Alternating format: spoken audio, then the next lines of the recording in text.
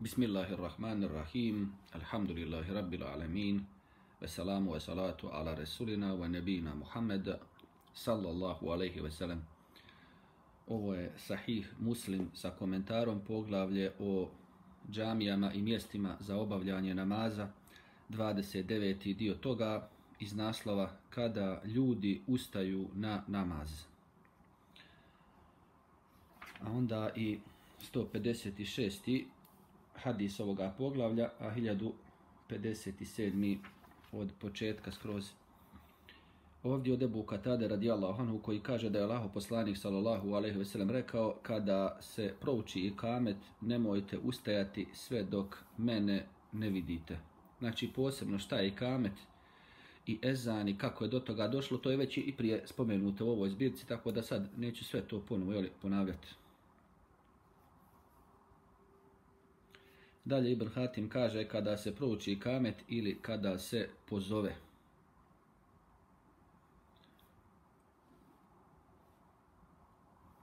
Dalje sljedeći rivajet isto od Abdullah ibn Ebi Katade, on od svoga oca, to jest od Ebu Katade, a on poslanika, sallallahu alaihi ima još jedan rivajet. Onda Ishak u svom rivajetu dodaje hadis Mamera i Šaibana, kaže dok ne vidite da izađem. I ovo je, znači, bilo posebnost isto Muhammeda sallallahu alejhi ve sellem ovdje, pošto je on bio tu do da živio, pogotovo kad je bio u sobi kod Ajše radijallahu anha, to je samo zid dijelio, znači direktno bi dolazio u mesdžid, pa da ne ustanu do ga ne vide, znači ne treba, jel? E sad, kod nas su mesdžidi drugoga tipa, obično nisu čak ni mesdžidi, negdje su oni podrumi, pošto ne mogu muslimani jel, više da imaju ono, kad zapnu iskreno bez da se dodvoravaju tagutima i da popuštaju vjeri, pa imaju što imaju neke slabije lokale i tako dalje. Onda tu, jeli, kad se digne ovaj da klanja ili kada se dogovore, jel, ima dogovor, pane 5, 10, 15, 20 minuta poslije zana učimo i kamet i onda se uči, pa neko će od njih jeli, predvoditi ljude u namazu. Jel. To je na dogovoru, znači. Dalje, od Ebu Hurera radi Allahanu kaže proučeni kamet za namaz, ustali smo i poravnali safove prije nego što je Allaho poslanik sallallahu alejhi ve izašao. Poslije toga je došao Allaho poslanik sallallahu alejhi ve i stao na mjesto gdje klanja. Međutim, prije nego što je izgovorio početni tekbir, sjetio se i izašao. Nama je rekao, ostanite na svojim mjestima. Čekali smo ga dok nije došao, kupao se i sa glave mu je kapala voda, donio je početni tekbir i klanjao nam to jeste u akim isto situacijama nije nikak problem. Muhammed s.a.v. je znači, sjetio se da treba gusel da uzme i sam se vratio i to uradio i to brzo ide znači. I, i tada se moglo znači u njihovim uslovima to uraditi za, za 5 minuta i, i prije, a pogotovo kod nas znači kad ima tu čovjek pa uđe i na brzinu to ide, jel, ne mora koristiti i sapun i šampon i onaj omekšivač za kosu i ne mora koristiti onu so i ne mora se mazat nego ovako kad je u nuždi na brzinu završiš sve pa onda kasnije onda miris, onda ovo, onda ono, jel? Jer ljudi čekaju. Dalje, pa se sjetio, to jeste da se mora okupati, treba napomenuti da ovo, kaže, nije isti događaj koji prenosi Ebu Bekr Thakafi, gdje kaže da je poslanik Salosem se nečega sjetio nakon donesenog tekbira. Taj hadis bilježi Ebu Dawud i drugi nisu naveli ovdje vjerodostojnost, ovi samo navode, znači rivajte ovako, onako, koliko je tako vremena i situacija bilo, gdje spominju nam neki hadis, a mi vidimo, pa kako ja kažem, imaju ovi drugi hadis, ma kaže, to je hadis ovo, ono. Pa dobro, kako hadis sad? Pa nisu ti rivajti, znači što oni donose, znači sada od njih izmišljeni. To su slabi rivajti od početka bili, naša ulema o tome je pričala. Nisu sad ovi učenjaci pod mojim pritiskom ili pod pritiskom nekoga brata ili neke sestre rekli pa to ne može, to je slabo. To se vas da znalo da su to slabi neki rivajti. Nego jednostavno ovi ih citiraju izmišljajući ili upotpunjavajući neki svoj mezheb.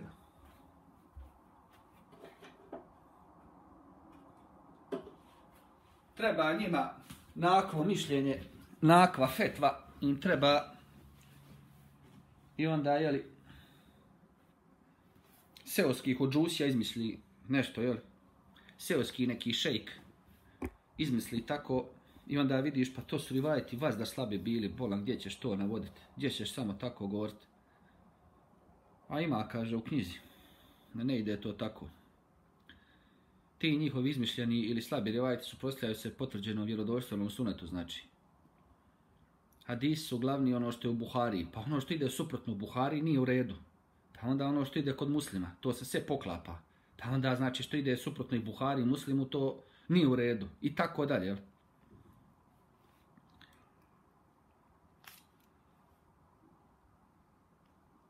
Onda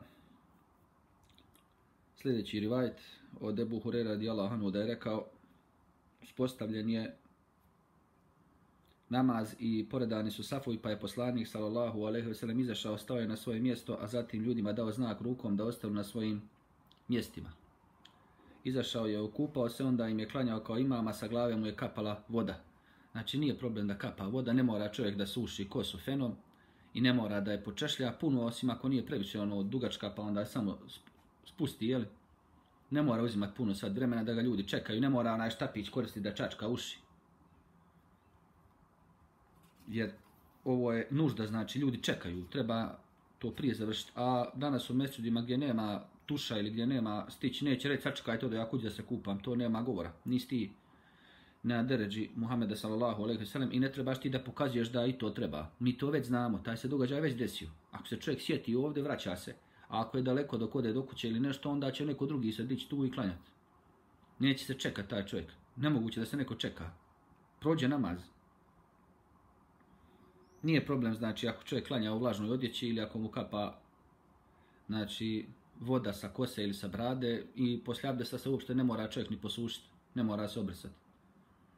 E sad drugo je, u nekim situacijama tamo gdje su tepisi, u mesčidu i onda dolaziš ti tamo i kapa s tvoje kose, kapa s njegove kose, brade, padaju dlake, e onda je to nešto drugo. Tu znači, radi toga što ljudi tu trebaju da klanjaju, nije pjesak da samo prođe, nego je prašina, a s druge strane i kući to čovjek uradi tako da tamo gdje je linoleum i to da svi dolaze i da kapaju, da voda ide i onda neko i pane, ohlizne se, tad se uzima u obzir i to, jel?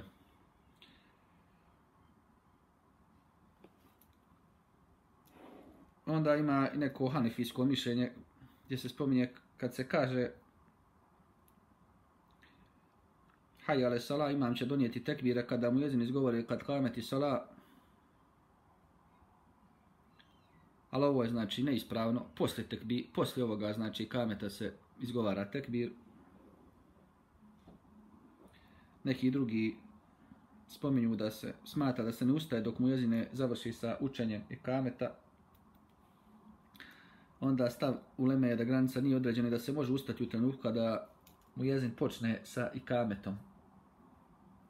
To nije znači u sekundi, ali a ovo što se spominje od nekih Hanefija, to je znači pogrešno. To sigurno nije tako po hadisu, to vidimo. Oni vas da nekako požure. Pitanje je li to mišljenje ovih nekih uopšte Hanefija, znamo da oni ne, oni ne postoje, jel? da su mezhebi izmišljotine, nego ovi neki što su donijeli to kao imam čim kaže, počinje da predaje selam. Es selam, oni odmah idu glavom dok on pa ili neki čekaju da on preda na desnu stranu, pa onda oni za njim na desnu, ali to je neispravno. Treba se čeka da se potpuno preda selam. Kad imam preda selam i na desnu i na lijevu stranu, e onda ti tek počinješ sa svojim. A ne da ideš u isto vrijeme. Tako isto i za roku, i za srdu, za sve. Ne radiš to u vrijeme kad i on radi. Pusti da prođe, ako je tamo negdje u daljini, ne znaš, kad si dobio signal, kad kaže Allahu Ekber, onda kreneš i ti, jeli, nećeš ga stići. Ne smiješ ga, znači, prestići, a neispravno je u njegovo vrijeme raditi. A pogotovo, znači, ovi ovo, tipično, dibidus pogrešno ovo, ove hanefijske neke fetve i to je. Dalje, evo kako treba, spominje se ovdje u hadisima. Dalje, 1060. hadis. Od Ebu Hurera radijallahu anhu da je rekao u poslanikova sallallahu alejhi ve vrijeme bi se proučio i kamet pa bi ljudi zauzeli mjesta u safovima prije nego što bi poslanik sallallahu alaihi sallam došao na svoje mjesto. Evo vidimo znači ne bi oni počinjali da klanjaju dok se uči i kamet. Pa ma, taman da imam tu što bi značilo pa ne mogu prije imama početi. Što znači da ima mora početi dok se još uči kamet on tek onda izgovara tekbir. A kako će ga ljudi čuti? A nije tako u hadisu. A imali bi problem da ga čuju ljudi. A on kaže, znači Allahu Ekber, a ovaj naglas izgovara i kame da ga čuju glasnije. Kako bi čuli oni?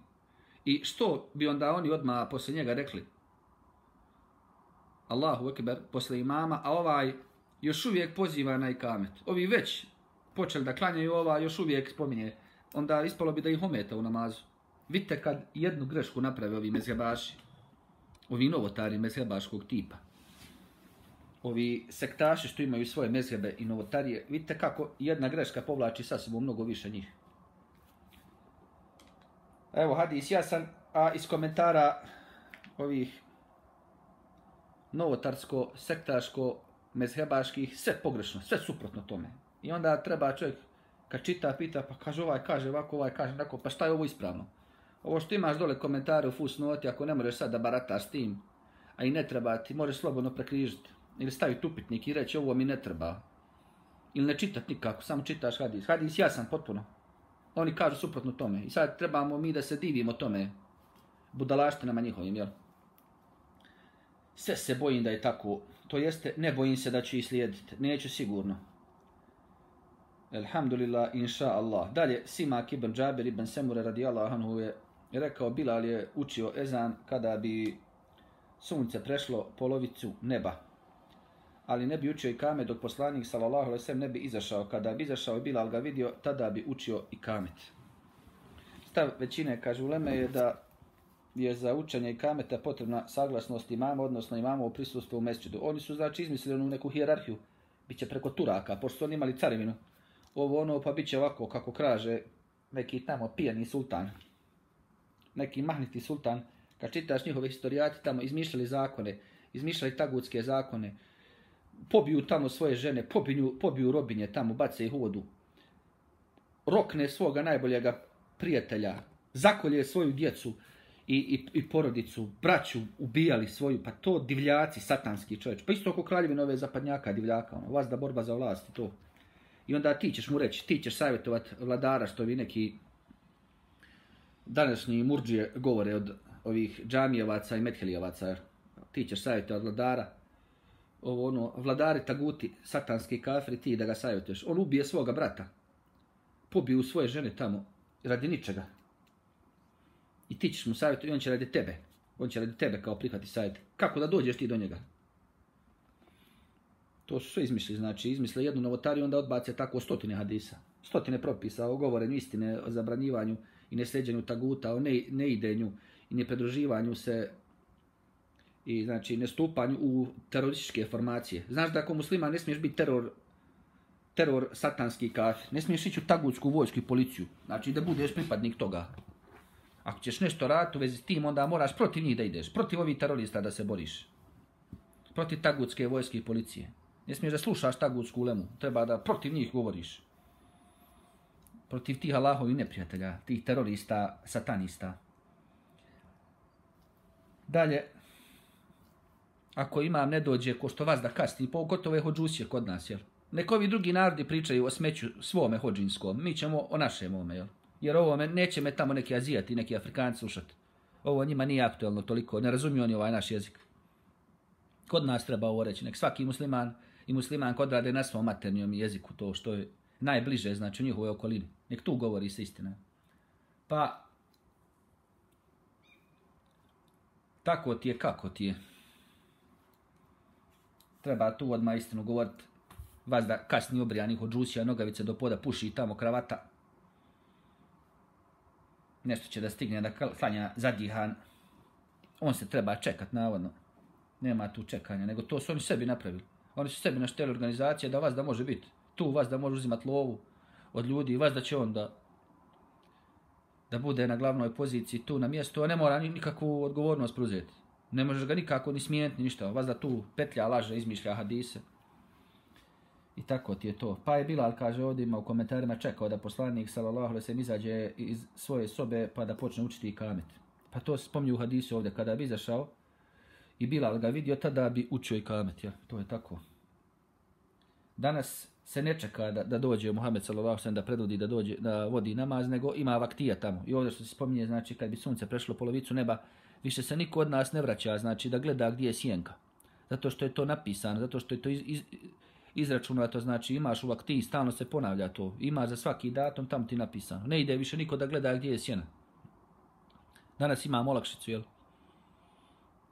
Isto ko se tiče viđenja mjeseca, jel, hoće li se početi i kad će se početi, kad će se pre, prekinuti, kada prestaje Ramazan. Isto ti je, znači sad imaju teles, teleskopi, imaju sateliti, pa imaš sate, teleskope na satelitima. Ne može se promašiti nikako.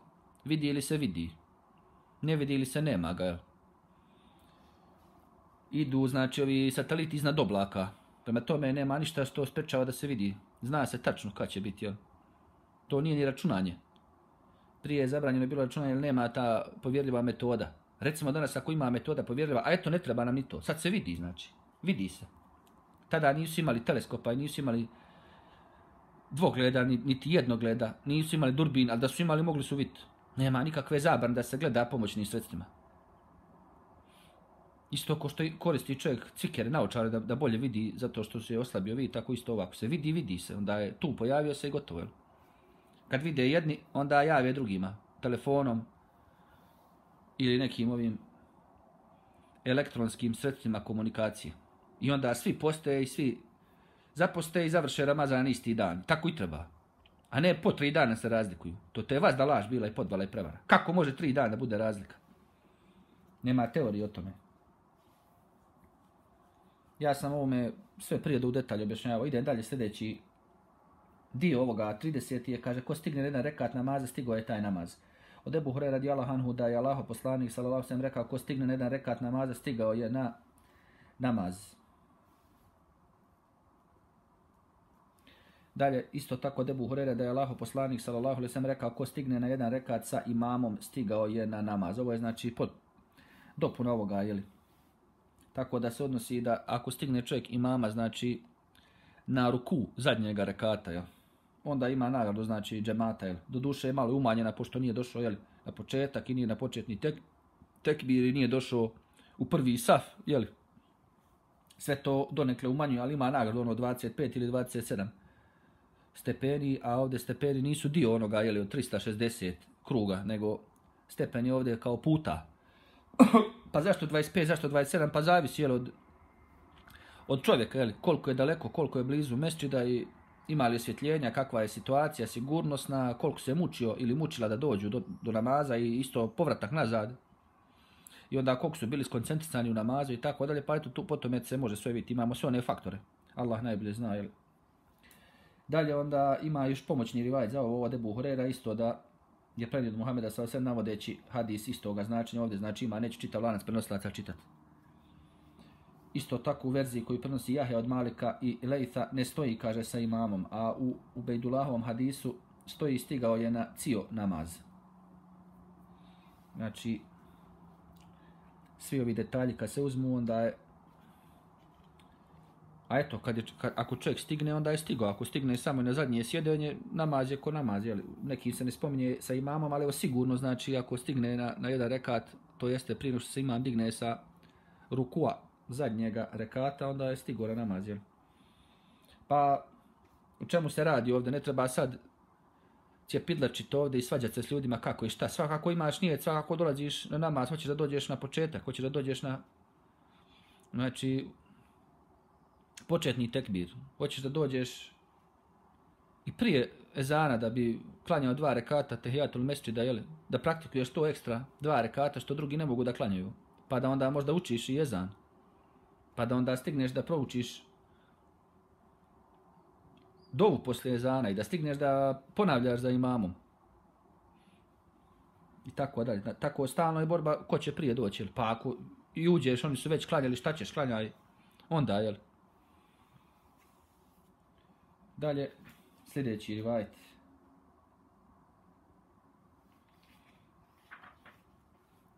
Od eh, Ebu Hurera radijallahu anhu da je Allaho poslanik sallallahu alejhi ve sellem rekao ko stigne klanjati jedan rekat sabaha prije nego izađe sunce taj stigao klanjati sabah namaz. Ko stigne jedan rekat ikindije prije nego što zađe sunce taj stigao klanjati ikindiju namaz. Znači ovdje ono kad se kaže rekat ako čovjek sigurno znači čitav rekat to je znači stigo. E sad neki kažu da čak i ako čovjek ono je u nekim situacijama stigne ovo prije se digne sa rukua ili ako stigne učiniti jednu seždu i tako dalje, ali evo, to je sve znači u, u nekoliko sekundi se radi. Tako nemoj nikad tako dolazi u takvu situaciju, osim ako nisi primoran ili nešto, jel? Nego, jedan rekat ako se stigne, to je tačno. I ovo je recimo praktično nekome recimo na večer ne stigne, jel? Pa se probude, a hoće da stigne da klanja čitav noćni namaz ili malo duže, jel? Pa onda ako stigneš jedan rekat da klanjaš prije početka sabaha, jedan rekat, pa onda možeš da klanjaš još osam rekata u vremenu sabaha. Pa da stigneš i na sabah. I, i u mesčidu ili, ili ako si sestra neka, klanjaš kući svakako. Znači možeš onda od devet rekata klanjati. vitr.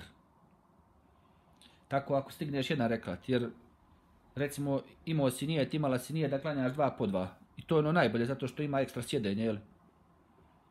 Pa se ekstra uči, pa jel, i količina je bitna. Pa što duže i što više riječi izgovori, to veća nagrada, jel?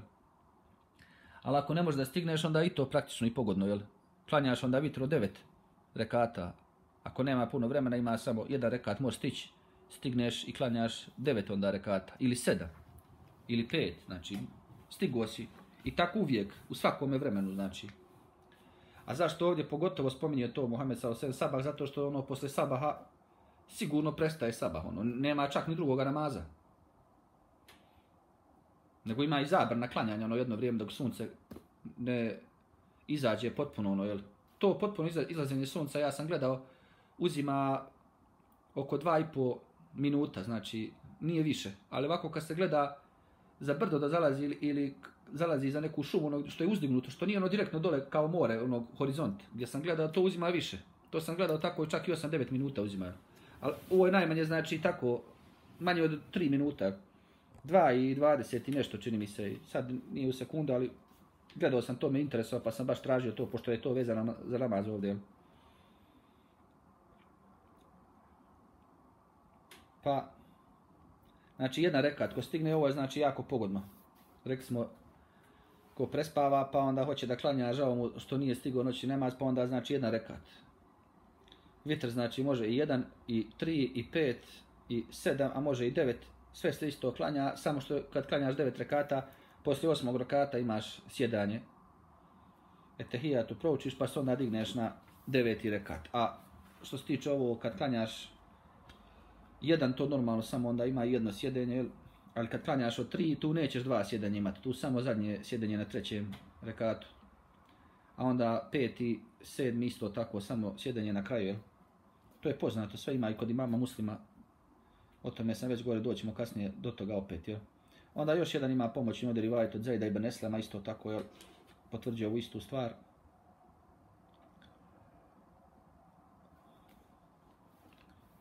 Pa jedan rekat, ako znači čovjek klanja znači i rekat pa i ruku i dizanje normalno spuštan jedna sežda pa dizanje pa druga i onda kad se digne to ali to to znači ne dugovlači tu prvi rekat taj stigne odmah jel ako si vidio da je u 58 a kod tebe 57 ili 56 odmah znači što brže to moguće klanjaj pa onda kasnije pošto si stigao jedna rekat onda možda odužiš na drugom na trećem i tako dalje.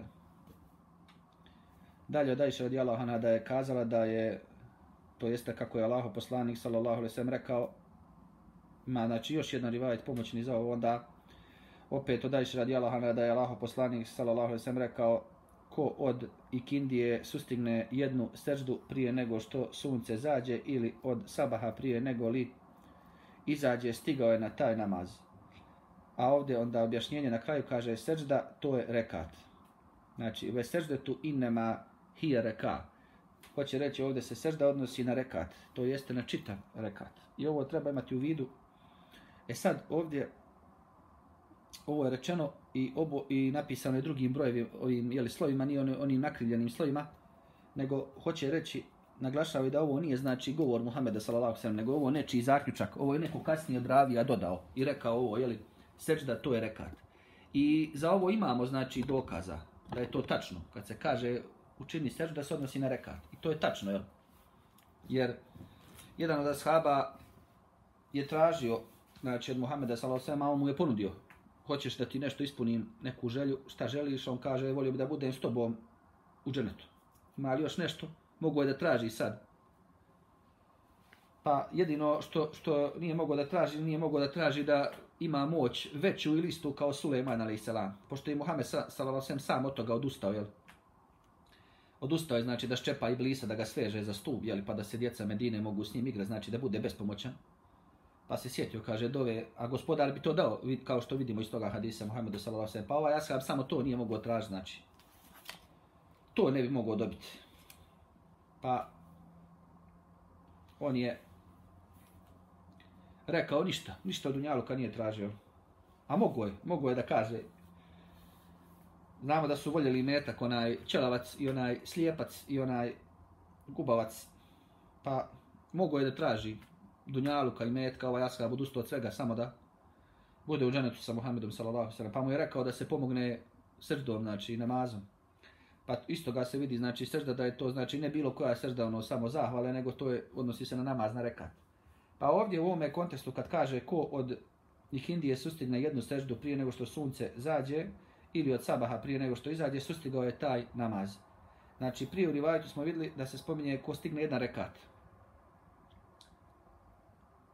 I za sabah i za ikindiju, u, u hadisu od malo prije. Pa onda ovdje kad se kaže sežda, iz ovoga konteksta znači sežda se odnosi na rekat, to jeste na čitav rekat. A ima jedno mišljenje koje se može ono isto kad se gleda ovaj hadis kontat, to bi bilo znači ako čovjek stigne, stigne jednu srdu, znači u, rak, u rakatu, jel, pa do jedne srde ako je stigao. Stigao je, ali onda vidimo to se radi u, u dvije, tri sekunde, jel ti dodeš na seždu i minimalno jedno onda kažeš, znači, Subhan rabbi al ala i onda se digneš i kažeš rabbi gfirli, rabbi gfirli, opet Allahu ekber, Subhan rabbi al ala, digneš se opet.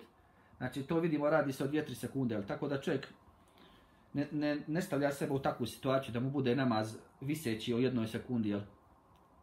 Ali evo vidimo, iz ova dva hadisa vidi se znači da se to odnosi na čitav rekat onda. A neki bi mogli reći, znači da, rekat, ali do prve sežde. Ali opet tu ne treba, znači, svaljati se i cepidlačit zato što ti svako kad klanjaš ne znaš tamo. Ne znaš, niti gledaš topericu. Niti ti ide onaj sat ili digitalno, niti gledaš tamo hoću li stići u sekundu, to normalno nije ni normalno testira tako, stavljati se u, u opasnu takvu situaciju, jel, u sekundu da klanjaš, da stigneš namaz. Jel. Na osnovu, kaže ovih hadisa, ima komentar u kojima se spominje negdje rekat, negdje sežda, neki islamski pravnici kažu da je da svakoga ko klanja dio namaza u njegovom vremenu, onda je stigao klanjati u njegovom vremenu. Pa, normalno ovdje, što se tiče dio namaza, to je jasno. Znači, srdu, či, ovdje je samo znači da li je dovoljno do prve srde stići ili čitav rekat. A to je znači samo dalje još između dvije sežde sa tekbirom, pa onda opet tekbir i opet druga sežda i onda dizanje. To opet u, u nekoliko sekundi, znači dvije, tri, pet sekundi se radi tu. Dobro, dalje od Ebu Hore radi Allahanu da je Allaho poslanik sallallahu sallam rekao ko stigne na rekat ikindije prije nego, što, nego zađe sunce stigao je taj namaz. Ako stigne na rekat sabaha prije nego izađe sunce stigao je taj namaz. Znači imaju izuzeci, jeli, kad klanja se sabah znači fard, govorimo uvijek kad se, kla, ka, kad se kla, kaže klanja se namaz, misli se na onaj o, propisani obavezni na vađib, na fard, na farz. Pa može čovjek da klanja dva rekata i poslije farda, poslije sabaha, ako su to na dva rekata suneta koja nije stigao prije da klanja. To može, to je potvrđeno hadisom. Isto tako ima ono zabranjeno vrijeme jel, klanjanja kad počne da izlazi sunce dok ne izađe, ono kad počne da zalazi dok ne zađe. Znači ono kraj sabaha i kraj ikindijskog vremena. Jel? Ali opet to ako je čovjek probudio se spava, onda će dice i klanjati, neće čekati da prođe taj namaz. Tada nema problema. Jel? Tada se dava prednost klanjanju toga da stigne da klanja taj namaz i ovdje vidimo direktno iz hadisa. Jer Muhammed s.a.v. kaže ko stigne klanjati jedan rekat ikindije. Što znači normalno da će drugi, treći i četiri rekat mu znači biti i u drugome vremenu čak. A pogotovo ovo počinje da klanja, znači u zabranjenom vremenu. Jer ima ono posebno zabranjeno vrijeme. Plus to ima ono da se ne klanja poslije ikindije ništa svakako. Jel? Ali ovo pogotovo ono vrijeme kada počne da zalazi sunce dok potpuno ne zađe. Ali vidimo da da ovo kad, što se radi o tome da čovjek treba da stigne o stizanju na namaz, onda normalno čovjek neće čekati da mu prođe, nego će klanjati u tome vremenu. Jel? Što se tiče onoga zabranjenog vremena, prije podne da se klanja ima i to zabranjeno vrijeme, isto nije problem ako čovjek dolazi petkom ili na džumu imaju hadisi gdje nije problem. Ja sam to navodio već. To je vjerodostojno, znači, bileži u Bulugul Maramu, znači, Ibn Hajar, drugi su dali ocenu zato da je to isto vjerodostojno. Znači, ono petkom kad dođeš, neki čekaju, stoje, ono misli dok ne počne dok ne počne, jeli, ezan da suči, neće, ne mogu da klanjaju tehijatul mesčid, nego misle da je to zabranjeno vrijeme, jel, tih 20 minuta ili nešto, neki čak 20 i pola sata govore, ili 45 minuta, ali to je pogrešno, znači. Rekli smo, suncu treba, znači, manje od 3 minuta da zađe potpuno kad se gleda prema horizontu, a kad se gleda ono prije negdje ovako brdo gore, to uzima i malo više vremena. Ali sigurno nije to 45 minuta je to. A uopšte nema zabrane. Znači kad god dođeš petkom prije džume, znači klanjaš tahijatul mesčid, nije bitno koliko ostalo vremena do do ezana, jel? Samo eto, nema ono direktno se spominje, znači nemoj klanjati ili zabranjeno je klanjati kad se uči ezan. Nego ima zato ono što je spomenuto hadisu kad se uči ezan da čovjek ponavlja za imamom. Pa zato ono, recimo, ako si ušao i uči se ezan, onda tada stojeći, znači, ono, ponavljaj. Jer ne možeš početi i klanjati ponavljati e, riječi mu jedina, jel? Riječ je zana, nego, znači, tada, u takvim momentima, ako si ušao, onda stojiš, sačeka, znači, dok ne završi, da bi ponavljao to, jel? A onda ideš i klanjaš dva rekata. Ja sam objasnio detaljno isto propise svih ovih namaza i, i džume i dženaze i kako se kopa i kabor i kupa me i sad ne bi se na to vraćao, nego idem ovdje redom, pa doći opet i takva poglada, ali neće doći to u detalj ko što sam tamo jeli, iz drugih zbirka navodio hadis. Ali bit će dovoljno ovdje. Znači što se tiče ko ima kod sebe kući ovu muslimovu zbirku hadisa, sahih muslim, to mu je dovoljno, znači što se tiče propisa. I kako, znači od, od, što se tiče svih ovih stubova i vjerovanja i sve, znači ovdje ima do detalj. Znači, do u detalj ide, ali ne, normalno svaki detalj, imaju neki hadisi u nekim drugim zbirkama, što nema ovdje, jel? Ali sasvim je dovoljno da se svaki ovaj obred izvrši ispravno, jel? Toliko ima puno informacija ovdje. Dalje još jedan rivajet od Mamera prenosi sa sredom pomoćni, znači ima ovdje se spominje, znači. Dalje, 31. poglavlje o vremenima pet dnevnih namaza prenosi se od Ibn Šihaba kako je Omer ibn Abdulaziz malo odložio ikindiju, pa mu je Urve rekao, Džibril je sišao i klanjao. Omer mu reče, poduči me tome što govoriš Urve. Ovo se znači desilo je Omer ibn Abdulaziz bio namjesnik Medine prije nego je postao halifa. On isto bio kralj, ali je bio pravedan pa sudio je kao što su bile halife, znači bio jako dobar, pravedan čovjek, ubili su ga, nije jedna tri godine stigao, ubili su ga tamo na dvoru neki. On nije bio ni na redu da, da, da bude da naslijedi kao nasljednik, bili su prije njega neki, ali eto, desilo se, znači, taj što je umiro, pa je njega kao pod savjetom ovoga drugoga ostavio, tako da to mu je najbolje možda dijelo što je uradio u životu. Taj, što je ovoga Omer ibn Abdulaziza postavio. On je znači bio od potomaka Omera radijallahu anhu. On je bio pra unuk od Omera, ovaj Omer ibn Abdulaziz, jel? Čak se spominju neki rivajte da je Omer vidio nekoga tako u svom snu. A sad je pitanje to, je to treba provjeriti. Da će doći neki tako i tako, ali to sad treba provjeriti. To što se spominje tako i u knjigama i u Ehli Sumeta, to nije to sad sve vjerodostojno i to treba provjeriti. Znači, mnogi su na stvari tako govorili što su izmišljotine, pogotovo što se tiče Omera, da je on došao kod Kabe i rekao ja sad činim hijđru, ko hoće da ga majka nema ili da ga majka izgubi, nek me slijedi, nek me prati, to se nije desilo, znači ubili bi godma tu. Morali su muslimani, Muhammed sa sele moraju da izlazi tajno, znači na jedno mjesto, put je jako bio težak, znamo, jel, danima se morali kriti po pustini, po pećini i pećinama on je Abu Bekr radijallahu anhu i tako dalje, a kamo li sad neko da izađe tu, a njih stotine vamo.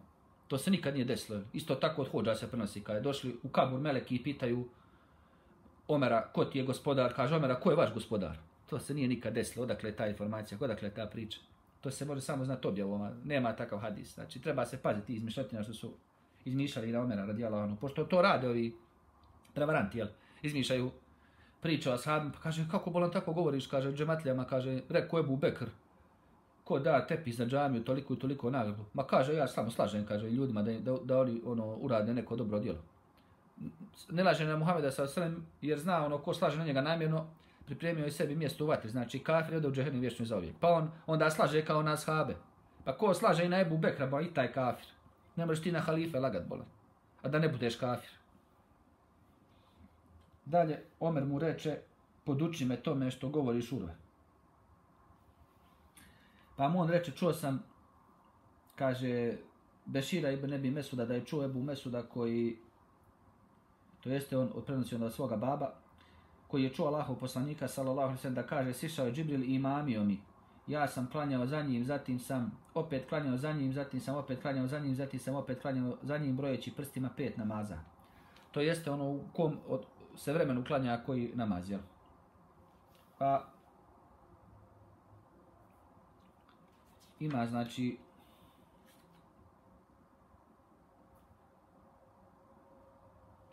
kasnije još detaljnije pojašnjenju rivajetima i u sljedećem, znači, onda 1068. kako i brojim, ili 167. ovoga poglavlja, od Ebu Mesuda Rensarija, da je rekao, a to je zato što mu je došao Urve ibn Zubair i obavijestio kako El Mugir ibn Šuba jedan je dan, kaže, odložio je Kindiju, dok je bio u Kufi, pa je do njega došao Ebu Mesud al-Ansari i rekao mu šta je ovo El Mugira, zar ne znaš da je Džibril sišao Allahom poslaniku sallallahu alaihi sallam klanjao, pa je i poslanik sallallahu alaihi sallam klanjao. Onda je opet klanjao, pa je i poslanik sallallahu alaihi sallam klanjao, a onda je kazao ovako mi je naređeno, to jeste od kog do kog vremena je namaz. Onda je Omer rekao Urve, pogledaj šta govoriš Urve, zar je Džibril uspostavio poslaniku sallallahu alejhi ve namaska vremena. Ovaj nije znao znači. Dalje kaže Urve je rekao tako je i Bešir ibn Abi Mesud prenosio od svog oca. Kaže Omer se začudio i nije mogao u trenutku svat, u trenu shvatiti da je Džibril imamio Allahom poslaniku sallallahu alaihi veselem, kao da je želio upozoriti Urvu na ono što govori. Zato što ovi nisu znali, znači nisu čuli za ovaj hadis i nije ništa čudno što se čude. Ali evo, ne izmišljaju ovi ljudi, jel? potvrđeno je to. Dalje onda isto ima još jedna rivajet. Urve kaže, kazivala mi je Jajša radijallahu anha žena Allahov poslanika sallallahu alejhi ve sellem da je poslanik sallallahu alejhi ve sellem klanjao ikindiju dok bi sunce još obasjavalo njenu sobu. Hoće reći ovi hadisi ukazuju na ranjenje prilikom obavljanja ikindije. Znači ono što se tiče u mesčidu to ono čim imaš vaktiju, čim je napisano vrijeme, ispravno je, treba odmah na početku učiti jezan. E sad, hoće li se dogovoriti džematlije da klanjaju posle 5 minuta ili posle 10, 15 ili 20, to nije problem, jel? A ljudi koji imaju neki posao i nešto ovo ono, ili ko je bolestan ili ko je kući, znači ono, do drugoga vremena, obično od zana do zana, sad imaju neke tu, znači, stvari koje čovjek treba naučiti što se tiče zabranjenih vremena i tako dalje, onda ne odugovlači do kraja i to. Onda,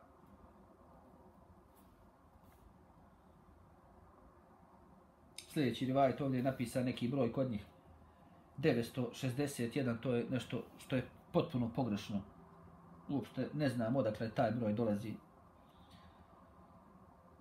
Sa 168 na 961, to je nešto sasvim čudno.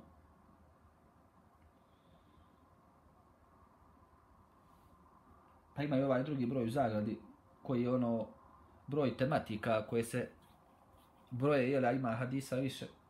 I to mi je onda nejasno, odakle ovo, kakav je ovo sad broj ovdje, 961, ovo je sve trebalo ponovo, znači računati pisati. Nisu uopšte trebali uzimati ovo što je ovaj jedan označio ovo brojima, ovo. sve pogrešno znači, katastrofale greške ovdje. Najosnovnije ne znaju hadis izbrojati. I kako ću onda ja sad da nastaje na ovo, kad reće neko, kako ćeš ti davati brojeve? A nije ni u štampari izašlo, da je bar oštampano da si pisao, nego ovako na desu onda rivajet je znači od Aisha radijallahu anha koja kazuje Allahu poslanik sallallahu alejhi ve sellem klanjao ikindiju a sunce još obasjavalo moju sobu nije bilo nestalo Ebu Bekr kaže još se u sobi nije pojavila hladovina ovo je znači sve otprilike tu su tada mogli muslimani shvatiti znat gdje je njena soba i gdje je sunce i tako dalje ali danas imamo mi ovo što se tiče u minutu jel, pa nam je to lakšano, alhamdulillah. Dalje od Aisha radijallahu anha da je obavijestila da je Allah poslanik sallallahu alejhi ve sellem klanjao ikindiju, a sunce je još obasjalo njenu sobu. To jest obasjavalo njenu sobu, nije se još to jeste nije se u njoj, to jeste u toj sobi još pojavila hladovina. Znači ovo nama ne pomaže. I ko je bio u Medini, ko je vidio sobu, sad je to ograđeno sve, sad je tu okolo skroz mesčid i bilo sunca, ne bilo, ne možeš znati, ne možeš vidjeti. Ali kažemo, jel, imaš vaktiju, ezan se treba učiti u mesčidu odma čim je nastupilo vrijeme. Pa onda se dogovore, jeli, posle koliko vremena će biti kamet i to je završena stvar. Jel. Ovo su oni tako morali koristiti u njihovo vrijeme, pošto nije bilo ni oštampani, niti su imali sekunde, niti su imali satove, pa morali su tako, što se tiče po suncu, po sjenama da idu, mi ne moramo, jel. Dalje onda još jedan rivajet od Aisha radijallahu anha da je rekla Allahu poslanik sallallahu alejhi ve sellem bi klanjao i kindiju, a sunce bi još bilo u mojoj sobi. Znači ne doslovno bukvalno da je sunce u njenoj sobi, nego sunce bi zraci, jel? Dalje.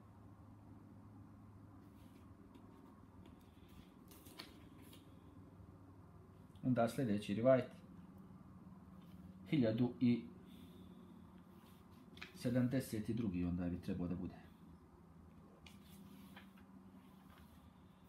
Ili 171. iz ovoga poglavlja od Abdullaha ibn Amra radijallahu anhu da je vjerovjesnik sallallahu alejhi ve sellem rekao kada klanjate sabah to jeste kada klanjate sabah salatul fajr jeli znajte da je njegovo vrijeme dok se ne pojavi prvi sunčevi rog to jeste prvi sunčevi zraci jel?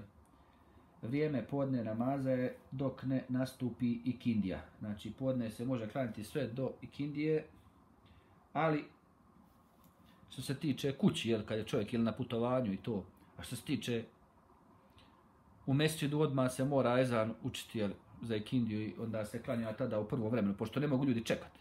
Tako je bilo iz Reje Mohameda sa znači uči se ezan kad je vrijeme, ljudi tada klanjaju, jel, otklanjaju se suneti, onda se klanja, jel. Znamo mi da sad to može, ali, ali eto, ako sad ima puno vremena, recimo, preko ljeta tamo gdje žive negdje muslimani, pa rade razni smjerama, pa onda nije problem da ljudi se dogovore, jel, ako samo su u tome mjestu, ili tako da kažu klanćemo i pola sata ili sat možda vremena kasnije, dogovor da bude, jel? ali imaju neki ljudi, na, putnici, najmerici, prolaznici, tako da jednostavno ne možeš nikako to izbjeći. Nego uvijek se uči jezan odmah na početku. Jel? Dalje kaže vrijeme ikindije kada sunce požuti. Znači ima ono zadnji, zadnjo, zadnje vrijeme koje se treba izbjegavati. Ikindije i tad se neće klanjati. Jel? Tada ono isto oni obožavaju sunca klanjaju. Ali evo recimo ako je nužda ono da čovjek treba da stigne namaz, vidimo da može, navio sam malo prije hadise. Dalje, a kada klanjate akšam, neka to bude dok se ne izgubi večernje crvenilo. Znači do jacije isto, Allah najbolje zna. Iako u nekim rivajetima stoji da je ono džibri došao odmah na početku. Znači, sva, ove druge namaze je klanjao od, od početka do kraja, ono vremena, od ezana do ezana, malte ne, a što se tiče akšama došao odmah na početku. Pa to ne zato da je, da je samo to kontradikcija svojim hadisom, niti da to, jeli, da ovo crvenilo znači nešto drugo, ne, nego sve do jacije. Ali zato što ima veze sa iftarom i to, tako a kad ljudi dođu u mesečidi za Ramazan i to, ezan se mora odmah učiti za akšan da se zna, ako za svaki namaz, odmah se uči kad je počelo vrijeme. Pa onda pogotovo ljudi za Ramazan posti se, odmah treba da bude ezan i neće čekat da iftare dok završi ezan. Nego ezan počinje i čim počne ezan, može se znači prekinuti, treba prekinuti post, treba iftariti. Tako da isto ako se skupe negdje na nekom drugom mjestu, ako je hrana postavljena, znamo iz hadisa, spominjao sam prošli put, prvo će da jedu, pa će onda kasnije klanjati. Tako da i do jacije je jakšav, nije nikakav problem. Dalje, kada klanjate jaciju, neka to bude do polovine noći. E ovo sada, što se tiče ovo polovine noći, ima značenje da do polovine noći, znači, mora se klanjati. Posle toga da je zakasnio čovjek na jaciju. Allah najbolje zna. Ali evo, ovo ono što se tiče, znači, ono, pošto su čekali u džematu da klanjaju. U džematu. A sad ako bi bio čovjek kući, Allah najbolje zna da li bi mogao, Ovo jeste sigurnije. Da, da ovako treba, nema šta, jel? Ali eto, dalje, inače, može onaj, ako je kući žena, pošto ne mora da ide u mesčedi, ako je negdje čovjek na putovanju i to, da li mogu to sve u stvar do sabaha odgoti ili moraju gledati do polovine noći. Onda polovina noći nije ono 12 na večer. Pa onda kad otvoriš vaktije vidiš da ti piše tamo da je polovina noći znači od znači akšama. Ne znači od jacije pa do sabaha, pola tu. Nego od kad je pola noći, a noć je nastala kad je zašlo sunce, znači to se desilo na akšam. Pa onda do pola dotle, jel? Allah najbolje zna, jel? Ovo je ono sigurnije. Sigurnije je to, ali eto. Pošto se ovo spominje, znači, u kontekstima klanjanje namaza u džematu. Jer to je obavezno ljudima da klanjaju.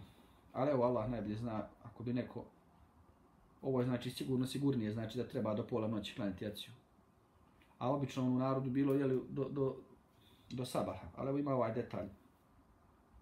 Dalje od Abdullah ibn Amra, on od poslanika, sallallahu sallam, da je rekao vrijeme podne namaza je dok ne nastupi kindija. Vrijeme kindije je dok sunce ne požuti, akšan dok ne nestane širokoga večernjeg crvenila. Ovo što se tiče njih, to je kod njih bilo tako u pustinji bi nestajalo. A vamo negdje gdje žive muslimani, zapadno od Balkana i negdje na sjeveru Evrope, pogotovo Skandinavija, tamo nikako ne prestaje crvenila. Crvenilo non stop bude, čita u noć, znači od akšama i jacija i do sabaha i do jutra, stalno, znači tu, tu se normalno neće ići po crvenilu, nego po, po vakti, po vremenu. Kaže, vrijeme jaci je do polovine noći, a sabah namaz dok ne izađe sunce. Znači ovdje ima evo još jedno vrijeme, opet rivaj gdje ograničava, znači da jacija do polovine noći, jel? Tako da bi do tada trebalo klanjati, onda Allah najbolje zna. To je ono najjače mišljenje, ovdje se spominje, jel? Ali obično smo ono čitali, slušali kada možeš do, klanjati do, do sabaha sve. Ali ovo je najispravnije, znači da jacija bude do polovine noći. Jer iako imaju neki rivajt uopšteno da nekako ograničavaju i, i akšan, da treba odmah klanjati. Evo i ashabi neki spominju znači da se požuri sa ikindijom, ali ovdje se spominje da sunce požuti. A šta, šta možemo znati ovako? Njima je to tada bilo, ali vremenski mi ne znamo ovo. Jedno je ono sunce u pustinji se vidi i nema oblaka i ništa kod nas i ne vidi se sunce, onda šta znači to da požuti i tako da. To je teško je sada u našem vremenu to znati jer nije ista klima znači. Nisu isti znakovi ovi što se vide u pustinji što se vide tamo gdje uopšte nema pustinje gdje je oblačno i tako dalje onda i od šubeta se prenosi isto rivajet s ovim senedom. Onda u jednom hadisu isto šube ga veže za poslanika sallallahu alejhi ve u druga dva ne veže, to jest ima ispojen rivajet. Dalje od Abdullah ibn Amra još jedan hadis. Da je Allah poslanik sallallahu alejhi ve rekao vrijeme podne namaza kada sunce pređe polovicu neba kada čovjekova sjenka bude koliko njegova visina, pa sve dok ne nastupi kindija namaz. Pošto su ljudi vidjeli da se to ponavlja, oni su izračunali, onda zato ima vaktija napisana, više niko ne gleda ovaj sunčani ili solarni sat. Dalje vrijeme kindije je sve dok sunce ne požuti,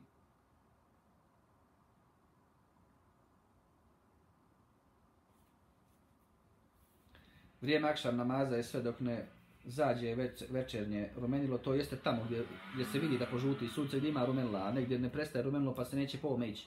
Ići se po vremenu, jeli, po, po vakti, po tabeli. Vrijeme jacije namaza je do polovine noći. Ovo se stano znači ponavlja da je do polovine noći. Dalje ovo je, kaže, odabrano vrijeme, to jeste pravo vrijeme za klanjanje jacije. Međutim, ako jaciju ne bi klanjao zbog opravdanog razloga, onda mu je dozvoljeno da je klanja do predzor. E to je isto jedno mišljenje, znači ja sam ovo prije čitao, pa I držao sam se toga, čitao sam, jel, tako da ne obavezujem druge, jel, ovo je sigurno da, da može da čovjek klanja i ovdje se spominje da je vrijeme do polovine noći, sad neki ovo spominju, ako ima neki razlog, treća smjena, ovo ono, znači, da nije uopšte problem, nego da je ovo preporučeno samo, da nije vađivo da ispada i da se odnosi ovo kad se u džematu skupljaju ljudi da trebaju da klanjaju, jel, do polovine noći. Allah najbolje zna, evo, pošto ovo se spominje, ja sam ovako ovo prije čitao, pa nadam se da nije mezhebska literatura i to, ali ako je sad neko od vas ili od nas, bilo koje, ako smo čitali ovako nešto iskreno, tražili islamske knjige, islamska literatura, ono, jel, i dođe ovako neko slabije mišljenje i to, pa ili smo radili po nekom slabom rivajtu, recimo neke smo zikrove govorili, oni normalno nisu u sebi sadržavali ni kufr, ni širk, ništa, jednostavno zikr je taj halal dozvoljeno ili neka dova, ona je halal dozvoljena, može se učiti. I u namazu, znači isto ko što možeš neku svoju dobu nešto te kopka, pa, pa tražiš od gospodara nešto da, tražiš od gospodara nešto otklanje od tebe, nije problem učiti, ali je problem što smo saznali kasnije, recimo, nije vjerodostojno. Ta dova nije vjerodostojna, nije, nije sahih hadis. Iako tekst nije problematičan, može se nastaviti učiti, ali ne smiješ govoriti. Znači, da je to rekao, da je to učio Muhammed sallallahu sallam, o tome se radi. Tako isto ove neke propise, ako je čovjek pogrešno naučen, pogrešno ga naučili, ili pogrešno mu rekli, a brat, sestra tražili istinu i htjeli to, inšala, neće nikakvu kaznu imati za to. I ovo što se tiče jacije koje je ovako naučio, kome su rekli, znači da se može da važi sve do, do sabaha, da nije nikakav problem, nisi ti kriv, znači. Nisi ti kriva, jer ono, čovjek se boji Allaha koliko god može. Jednostavno nisi od, od sebe mogu otkloniti, nisi mogla otkloniti od sebe ovo ovu stvar. To jeste za onaj ko misli da je tako, a ovi drugi što misle da, da, da, je, da je to dozvoljeno, da je to kao preporuka, da ovo nije kao važno, nekad se razilaze. I kad nešto kaže uradi tako, nije svaki put normalno to naredba. Isto kad mi dovimo, kad kažemo gospodaru, daj nam sreću. Riječ je u imperativu, daj mi, znači, ali ne možeš narediti. Nego molba je, znači, ja dolazi kroz naredbu, jezički, znači, u imperativnoj formi, u zapovjednom načinu. Isto tako, gospoda je otkloni od mene nesreću. Isto znači u imperativu, ali molba je to, molitva je. Dolazi od ozdol, od, od roba prema gospodaru koji je i uzvišenih svojstava i osobina i koji se uzvisio, uzdigao iznad Arša, jel? Što znamo iz Kur'ana i što znamo iz Hadisa o Isra i Mirađu, jel? Tako da ovo što kažu ovi da je ovo odobrano vrijeme, Allah najbolje zna, može se u nekom kontekstu odnositi i na, i na jeli, džemat, pošto je svi, svi ovi namaz, sve ovo kad se spominje odnosi se na džemat, jel? Klanjanje obavezno u džematu, jel? Za muškarce. Pod onim uvjetima, jel? Da se ispune i da je blizina mesčida i svašta nešto, jel? Što se tiče muslimanki, što imaju pravo, treba im se obezbijeti i da mogu da dolaze i da bude mjesto u mesčidu za žene i da klanjaju i tako dalje, ali nije ženama obavezno da dolaze u mesčid da klanjaju ove vađe, dnevne ove namaze. Nije, nije im obavezno, znači nisu grešne, a muškarac je grešan ako ne dođe. I tako dalje. I to su osobine onda i munafika, kao što znamo. I može biti da mu se ne, pri, ne prihvata i namaz i svašta nešto, jel? Ili da ima umanjenu nagradu i navodili smo brojne rivajete i mišljenja koja o tom imaju. Ja sam o tome već i prije govorio. Pa, evo, to je ovo, znači, što se tiče i za jaci ovaj dodatak, jel, ali ne bi se svađao ja, ne bi, jeli, pobio nešto, pošto sigurno da se ovako može klanjati, jeli, u ovome do, do pola noći, jeli, i tako dalje, dalje. Imamo u nekoj situaciji da je, da je zakasnio Muhammed sa sremi sa jacijom, pa je rekao da niko drugi ne klanja dunjalku, ono, jednom su duže ostali da su počeli spavati. Dalje, vrijeme sabah namaza nastavlja hadis je od zore pa sve dok ne izađe sunce. To jeste dok ne počne da izlazi. A kada sunce izlazi, onda nemoj klanjati jer ono izlazi između šeitanskih rogova. I to isto tačno, jel, tako da čovjek ne radi to, jel, i ako recimo zakasnio čovjek na sabah, tamo pogleda sabah bio u 25 minuta i, ne, i taj tamo sat i čovjek se probudi u 25 ili 26 i uzme abdest, onda sačekaj to malo dok, dok vrijeme prođe jer si već promašio, pa onda sačekaj dok prođe, jel, to vrijeme dok sunce ono potpuno ne izađe, pa onda te klanja, nemoj znači klanjati, jer tada ne moraš odmah klanjati, jel? To ćeš sačekati vrijeme da prođe. Neki kažu, pošto ima ono hadisu da čovjek, znači ako je zaboravio ili prespavao namaz, da ga klanja odmah, jeli, Pa neki misle da nema, ni, ni, da ta, ta narba ide prije ove zabrane, da, da se odmah klanja, jeli. Neki kažu isto tako za sabah, da ga mora odmah klanjati, ali to je već, sigurno se može klanjati, jel? a ne baš on na ovom zabranjenom vremenu, jer svako dok uzmeš abdest proće to vrijeme. Jel? A onda,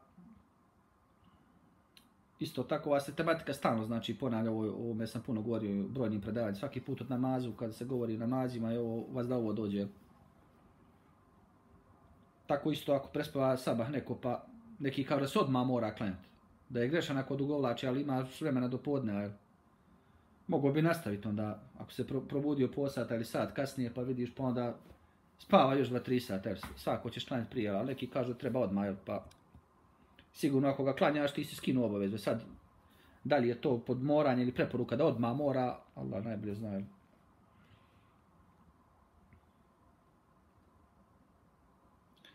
Onda ovi što spominju ovdje za jačiju, kaže odabrano vrijeme, ako kaže neko ne bi klanjao zbog opravdanog razloga to jeste, onda mora neki opravdan razlog da biti.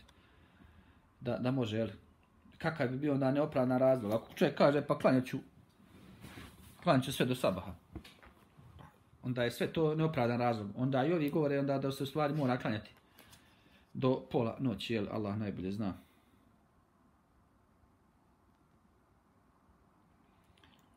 Dalje sljedeći rivajt.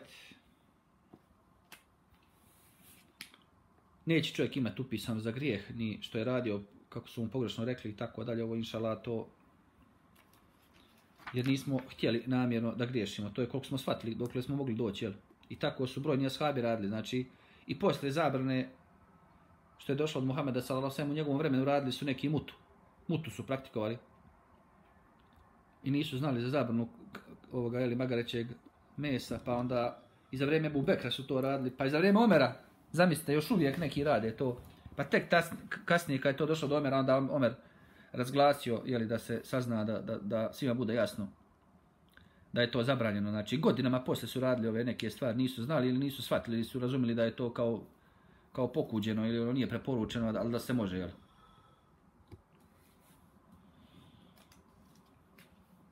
Dalje.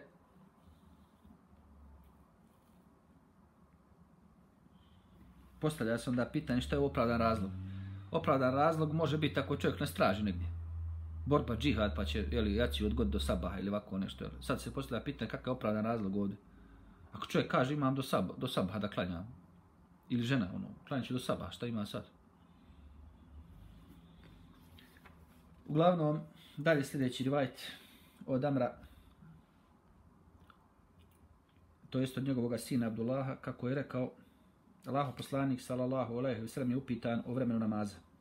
Pa je rekao, vrijeme sabah namaza je sve dok se ne pojavi prvi rog sunca, vrijeme podne namaza je od kako sunce pređe polovinu neba, pa sve do nastupa ikindije. Vrijeme ikindije je sve dok sunce ne požuti i ne zađe prvi sunčev rog. Vrijeme aksam namaza je od kako sunce zađe pa sve dok ne nestane večernjeg rumela, vrijeme jacije do polovine noći. Ovo se znači stalno spominje kao najjače, jeli, vrijeme jacije do polovine noći, tako da treba onda, ovo je opet najjače mišljenje, Allah najbolje zna da treba opet jaciju do pola noći klanjati. Dalje od Abdullah ibn Jahja ibn Nebi Kefira, kako je čuo od svog oca da kaže, znanje se ne može steći odmorom tijela. Kaže, ne navodi čuđenje nekih islamskih učenjaka, zašto ima muslim spomenuo ovo predanje, kaže, u kontekstu namaskih vremena. Kaže, jasno je da se ovim želi kazati da se znanje stiče isključivo zalaganjem, disciplinom i neospornim naporom. Ono ne dolazi samo od sebe, niti sa malim naporom. Da bi se znanje steklo, treba se dobro potruti, odvojiti ogromno vrijeme i umoriti tijelo u potrazi za znanjem. Ali jeste znači čuđenje, nije ovo, nema veze ovo sa sa onim, jeli, namazom. Onda se postavlja pitanje, zašto ovo su uopšte spominje kad nije hadis? ovo nije hadis uopšte, ne spominje se uopšte Muhammed s.a.v. i tako dalje. Čovjek prinosi od svoga oca. Pa možda on misli da je, podrazumijeva se da je prenio od Muhammeda sallallahu alaihi wa sallam, uglavnom postavlja se pitanje. Pa eto, čude se i drugi, pa ne, ne objašnjava ništa to, nego samo hoće reći vrijedno znanja i po pitanju ovoga, jel? Pa možda i, i bilo ko što je meni ovo bilo, čitam ovdje, pa neki kažu do pola noći, pa neki do polovine noći, pa neki kažu sve do sabaha, možeš klanjati. Ja ću pa zamisli ako je i on imao kopkanje neko i kako treba, ima muslim, po pitanju jacije. Ili nekog drugog namaza, ko sam ja imao dok sam čitao, dok sam učio. Sve smo ono morali sami učiti, nema šeha, nema... I kad ti dođu, samo te lažu i varaju. I kad ideš na predavanje i plaćaš i živcima i vremenom i benzinom i opet ništa ne dobiješ, opet i podvale, opet i nešto bez veze kažu, svašta nešto.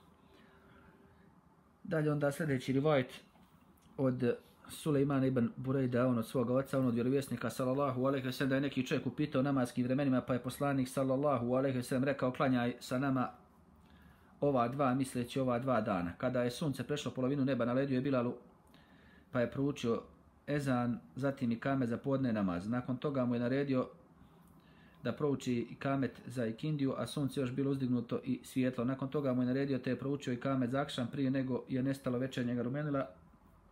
I kamet za, aciju, za jaciju naredio mu je da prouči kada je nestalo večernjega rumenila. Kada se zora pojavila, naredio je te je proučen i kamet za sabah namaz.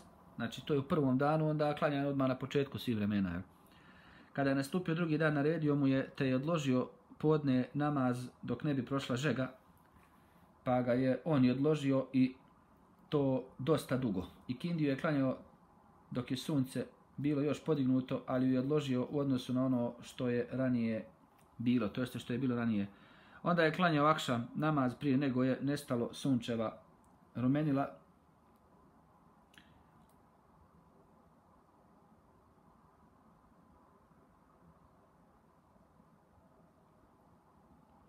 A u oba dva puta isto klanjao, znači isto prije nego što je nestalo sunčevog rumenila, u oba dva puta je znači klanjao akšam u prvome vremenu. Akšam znači klanjao u prvome vremenu, a u ovim drugim rivajetima, znači, spominje se, a kada klanjate akšam, neka to bude dok se ne izgubi večernje rumenilo, a u ovom drugom rivajetu, prije nego što je nestalo večernje urumenilo, znači poklapa se odmah u, ist, u prvom vremenu klanjamo, Mada evo vidimo da može, pogotovo da se odgodi radijela i to može akšam i sve do, do, do jaci, Jel? Tako da ovo treba ukomponovati. Nije znači ovdje svaki put ovako zatvorno i najstrožije ono što bi reklo samo u tome vremenu, nego može i šire. Dalje kaže, onda je klanjao akšam namaz prije nego je nestalo sunčeva rumenila, jaciju je klanjao nakon što je prošla trećina noći. Znači ovdje nije do polovine, nego trećina noći. Sabah je klanjao, a već se pojavila svjetlo sunca, pa je rekao gdje je ona što je pitao namaskim vremenima. Čovjek reče, ja sam pitao Allaho poslaniče poslanik, salallahu, alek se odgovori vrijeme namaza između ovo dvoje što ste vidjeli. Znači, to je ovo što je vrijeme namaza. Znači, ovdje dozvoljava samo jednu trećinu noći, a vamo spominje da može do pola noći. Tako da ima šire od ovoga. Tako da ima olakšica. Da može i šire. Još samo kad bi bio neki rivaj da se može klanjati i, i sabah. Znači, do sabaha jacija, onda bi i to još šire bilo. Znači, ovdje do trećine. A sigurno vamo ima rivajetima da može do pola noći. To se stalno spominje vrijeme jacije do, do polovine noći. To se stalno spominje, znači do trećine, može i, i posle trećine, po ovim drugim hadisima. Olakšica ima i za to. Dalje. Još jedan rivajet.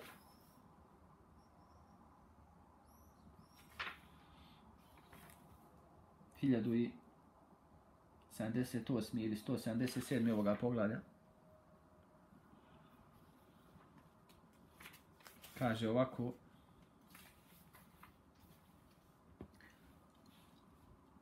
od Sulejmana ibn Burejda, on od svog oca, da je neki čovjek došao vjerovjesniku sallallahu alejhi ve sellem i upitao ga namaskim vremenima, pa je poslanik sallallahu alejhi ve sellem rekao budi sa nama na namazima. Naredio je Bilalu pa je proučio ezan u vrijeme noćne tmine, te su klanjali sabah namaz kada je nastupila zora, kada je sunce prešlo polovinu neba, naredio mu je da prouči jezan za podne i kindiju mu je naredio da najavi onda kada je sunce bilo još visoko. Kada je sunce zašlo, naredio mu je da najavi jakšam namaz, a kada je nestalo vremena, naredio mu je da prouči jezan za jaciju. Narednog dana mu je naredio, pa je odložio sabah do pred izazak sunca, podne je odložio dok nije nestalo podneske žege, a videli smo u drugim rivajetima skroz do da može do ikindije. Naredio je da se ikindija klanja dok je sunce bilo bijelo, čisto, bez primjesa žutila. Akšam je naredio da se klanja prije nestanka sunčeva romela, a jaciju kada je prošla trećina ili dio noći sumnja Heleni. Kada je, kaže Svanulo, pitao je gdje ona što je pitao vrijeme između onoga što si vidio je vrijeme namaza. Znači ovdje sad ovaj nije siguran koliko je prošlo noći, ali znamo iz hadisa od malo prije trećina i znamo da može i do polovine noći. Samo što taj put nije klanjao na pola do polovine nego klanjao u prvoj do prve do znači do prve trećine. Dalje još jedan onda poduži rivajet od eh, Ebu Bekra ibn Ebi Musa, on od svoga oca, on od Allahov poslanika, sallallahu alaihi wa sallam, da mu je došao neki čovjek i upitao ga o namaskim vremenima. Poslanik, sallallahu alaihi wa sallam, mu ništa nije rekao, nakon toga je naredio Bilalu da prouči jedan za sabah.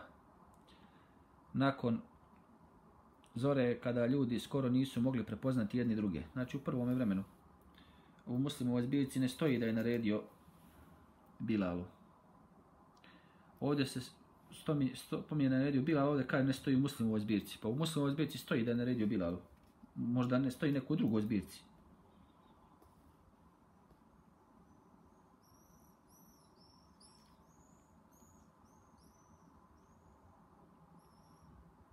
A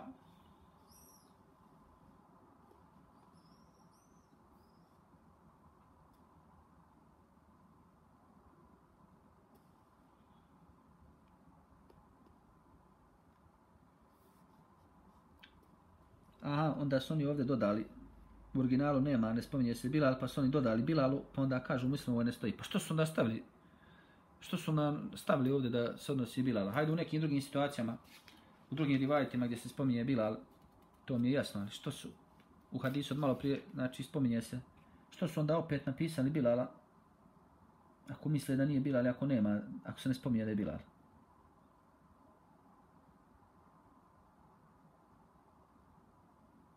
Vam se spominje u rivajetu od, malo, od malo prije Emer je Bilalen, znači naredio Bilalu. Sad onda kao isti rivajet, pa pošto je izostane Bilal, oni su opet napisali kao mora se na Bilala odnositi, jel? Ali u originalu ga nema za ovaj drugi rivajet. Zato piše dole, oni su, što su ga onda napisali u, u prevodu značenja, nije, nije potrebno napisati. Ali eto. Dalje, zatim mu je naredio da prouči jedan za podne namaz kada je sunce prešlo polovicu neba. Neko bi rekao da je pola dana, a poslanik sallallahu alejhi ve sellem je o tome bio znanji od njih. Zatim mu je naredio da prouči ezan za ikindiju kada je sunce još bilo visoko, za akšan kada je sunce zašlo, za jaciju kada je nestalo večernje grumenila, zatim je sutradan odgodio sabah, tako da bi neko rekao da je sunce izašlo ili skoro izašlo. Podne je odgodio skoro do jučerašnjega ikindijskog vremena, ikindiju je odgodio odgodio, znači Kindiju odgodio tako da bi neko rekao da je sunce već porumenilo. Aksam je odgodio sve do zalazak večernjeg rumenila, normalno ne može Kindija do zabranjenog vremena, ne može, ili ima zabranjeno vrijeme. Zatim je klanjao jaciju sve do prve trećine noći. Vidimo da može do polovine.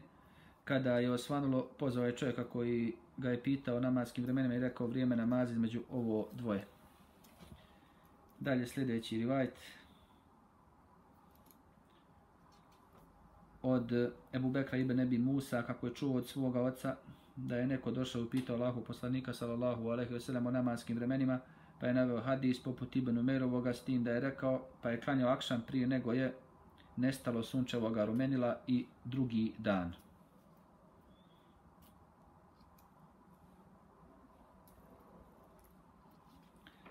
Dalje, to bi bilo znači za šetak ovoga poglavlja. Nastavit ću sljedeći put inša Allah gdje sam sastao. Subhanak Allahumma bihamdik ešhedu la ilaha illa anta astaghfiruka wa atubu ilaik